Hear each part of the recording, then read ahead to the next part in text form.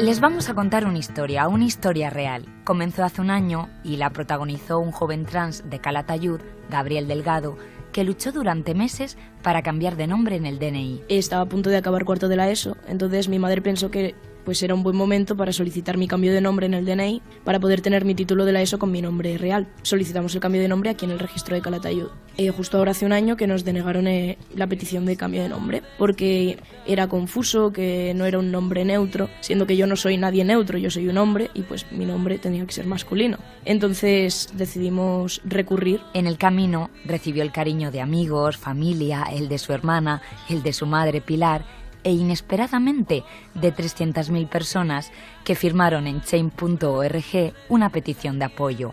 Llegó acompañado hasta la meta con final feliz. Empezó, empezó esto a, hacerse grande, grande y, sobre todo yo lo que recuerdo es que dije, mira, yo no me voy a quedar de, de, brazos cruzados, pero ¿cómo que es un nombre que se presta a confusión? Los que están confundidos son ellos, ¿no? Hasta que en febrero pues el recurso lo dieron favorable. Ah, ya tengo mi DNI, con mi DNI, pues mi pasaporte, el empadronamiento y ya todos los papeles ya están, ya están conseguidos, pero fueron nueve, nueve meses de, de, lucha en los que pues yo no sabía si me iban a cambiar el nombre o no. Así está Gabriel ahora. Voy a coger un bus y no tengo ningún tipo de reparo en enseñar mi DNI y en decir, sí, mira, esta es mi reserva del de, billete o en comprar por internet o cualquier gestión que requiera mi nombre real. Entonces todo ese, todo ese miedo se ha arrancado ¿no? y soy quien soy en absolutamente todos los ámbitos sin, sin tener miedo del que dirán. Le veo con ganas de conseguir cosas y le veo además mmm, con ganas de que, de que esto, que esta fortaleza que él ha, él ha conseguido la puedan tener eh,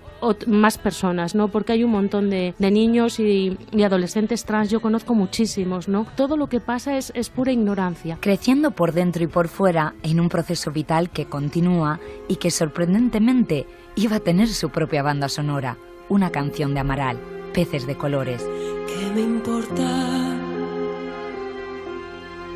lo que digas? Si me miras y no ves,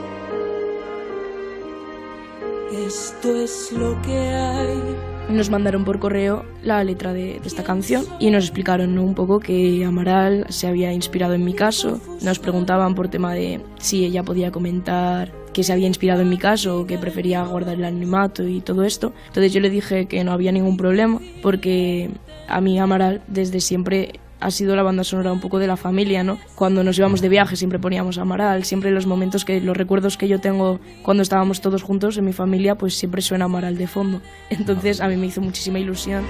Si tú sintieras el poder de mi interior,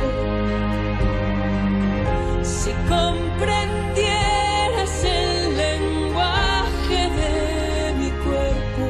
Hay trozos que son tal cual los siento, ¿no? Yo no estoy ni confuso, ni perdido, ni estoy partido en dos. Yo soy uno conmigo mismo y estoy luchando por ser quien soy.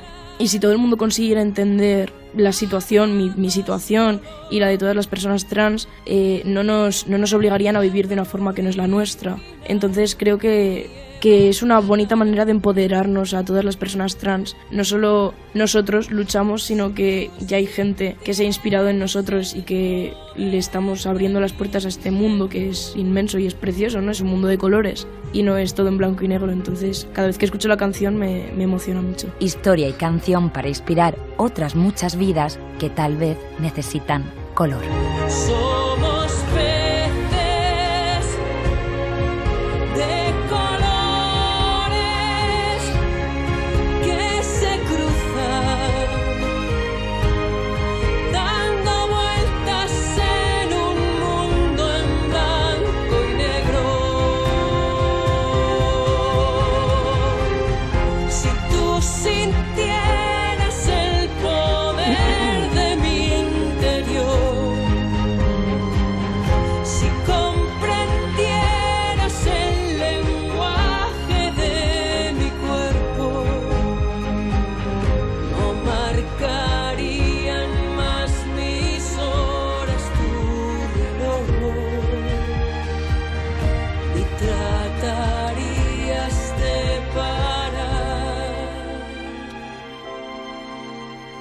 que no tiene remedio.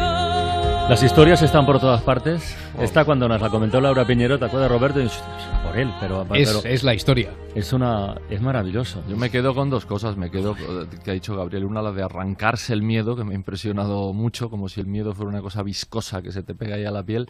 Y otra, eh, Phil, el Estado no te puede obligar a vivir una vida que no es la tuya, porque entonces hablamos de un Estado totalitario. La gente tiene que, los Estados tienen que entender que no se pueden meter en la cama de la gente. Y estos peces de colores, que imagino que son un homenaje a la película Rumble Fish de, de- de. Coppola, ¿no? Una vez, obviamente, ¿no?